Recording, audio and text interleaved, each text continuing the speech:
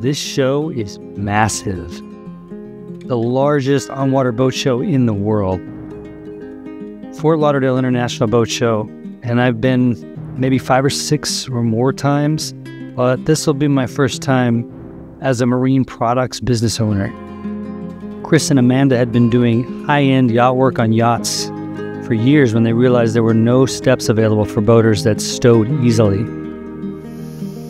So Chris went to work revising prototypes for more than a year until he created something that people are calling truly innovative and a game changer on the dock.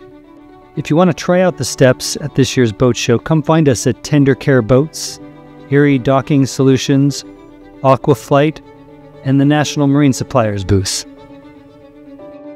These steps are stable, durable, created using a unique design with no fasteners and are UV resistant. Best of all, they pack up and stow away, unlike any other set of steps out there. Flibs, which is the short name for the show, used to stretch along the intracoastal to the city run Las Olas Marina.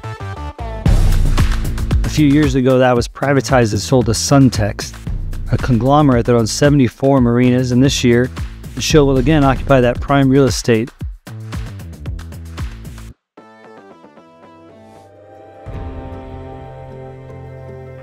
We're still a couple weeks out from the event, but you can see the floating docks are being positioned so that this year the event will again stretch from the Bahia Mar Yachting Center on the south end through the Hall of Fame Marina to the expanded Las Olas Marina.